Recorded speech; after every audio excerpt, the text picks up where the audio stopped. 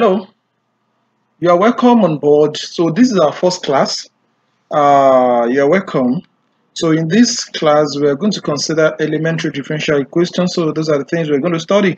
So you are welcome on board. So preamble, differential equations. You know, the subject of differential equation is needed. You know, it helps us to understand so many things. For instance, it is, is needed to understand physical sciences. You know, when we are talking about physical science, you know, we have life sciences and we also have physical sciences. So differential equations help us a lot to understand the concept of physical sciences, as in the case of chemistry, as in the case of statistics, as in the case of uh, mathematics, and some other aspects like that. We need the concept of differential equations. Also, it helps us to understand the ideas and theories uh, which are also needed in higher analysis. We really need this concept a lot, you know, because whenever we are talking about high analysis, we are talking about uh, situations whereby there's a kind of change in one thing with respect to the other. Now, second third one is that um, it helps us to represent um, certain problems in physics, engineering, chemistry, and other disciplines. You know, in all these cases, there is a kind of way that one thing is changing with others.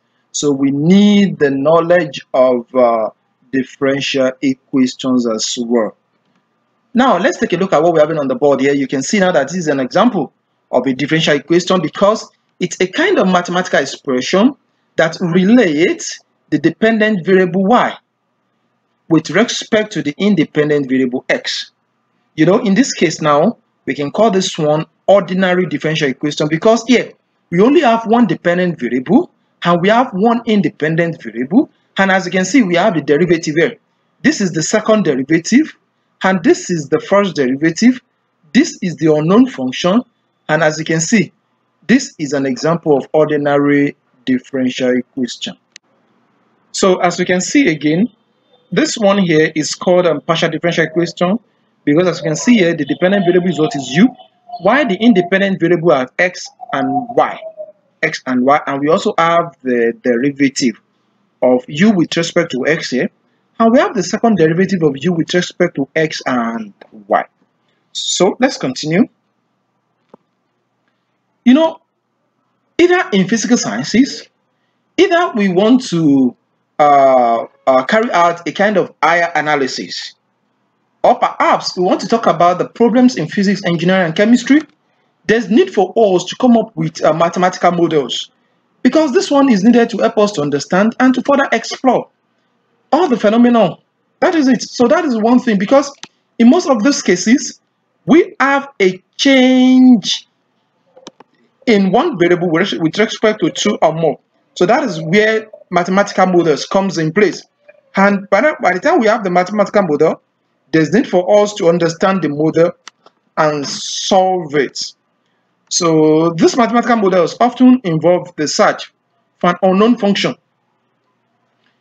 Because if we are to solve this one expression here, you will notice that um, there will be a particular unknown function y. That if we second if we differentiate it twice and we differentiate the function once and we add the function here we add it together it will give us zero. So that's what we mean that by the time we have the model there's need for us to look for the unknown function what are the contributors who are the contributors you know this is very important because this concept we're talking about has been in existence since uh, 1950s in fact from time memorials there's been differential equations. The first person I will mention is Isaac Newton. You know, he contributed a lot to this body called differential equation.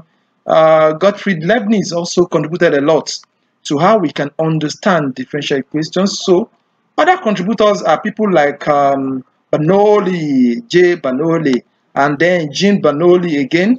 And we have someone like Christian Huygens. And at the same time, Leonhard Euler also contributed to uh, to the concept.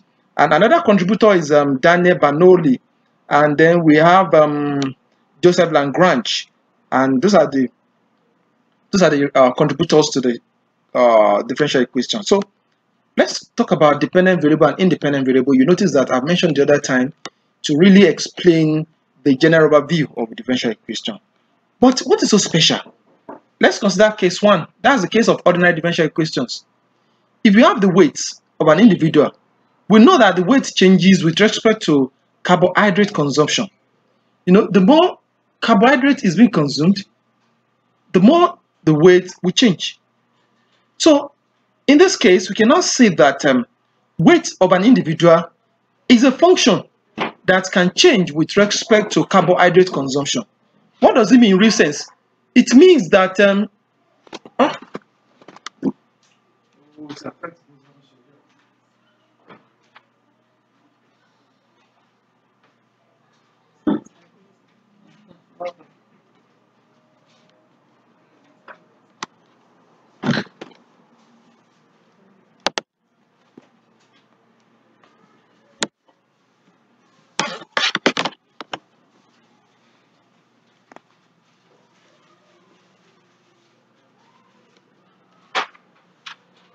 So the next thing we're going to talk about now is dependent variable and independent variable.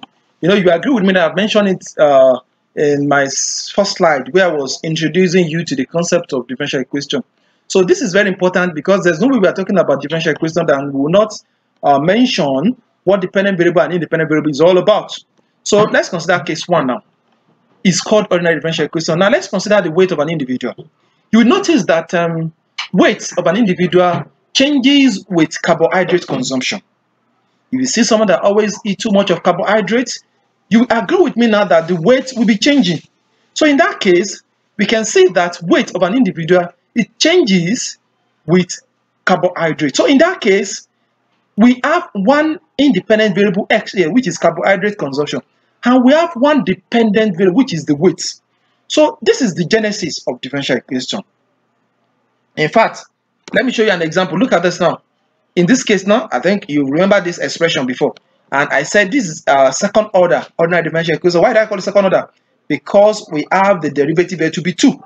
So we have this expression. But why do we call this one ordinary differential equation? Because here we have one independent variable which is x.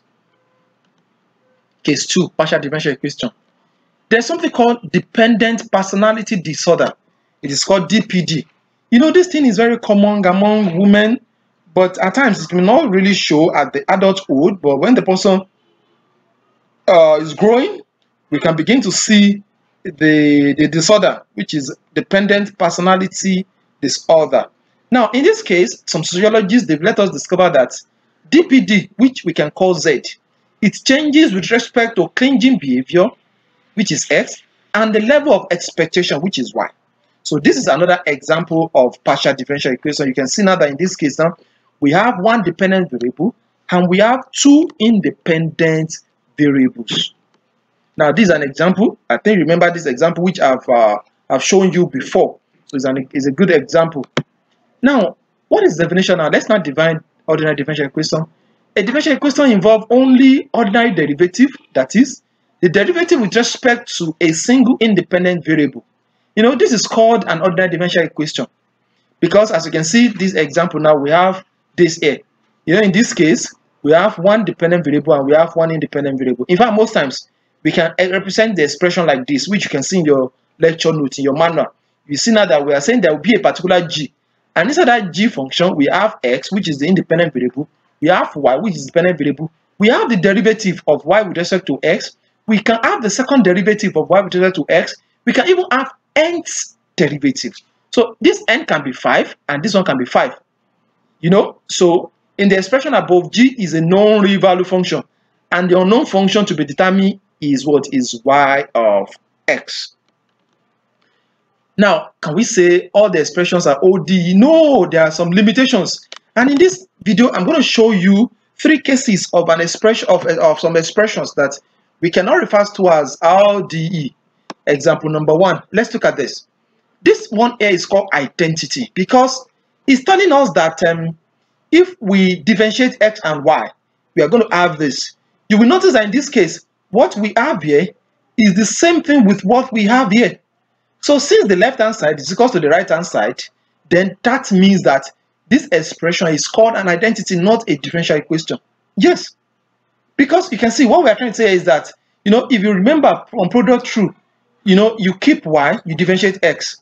You know, if you differentiate x with respect to x, you have 1. If you keep x and you differentiate y with respect to x, you have this expression. Can you now see now that we cannot call this one a differential equation but an identity? Example number 2. Let's look at this. We can never call this one ODE. Despite the fact that the dependent variable is changing with respect to, to one independent variable. Why is it? Is because we are evaluating this expression at x. Why we are evaluating this expression here at x plus 1? So because of that, we can see clearly now that this is not a, an ordinary differential equation because the left hand side is evaluated is evaluated at a at a point that is not the same thing with the second. Now let's consider the third example. This third example here, can we call this one ordinary differential equation? No. Why? Because you see now that here, the y, y unknown function that we are looking for is there.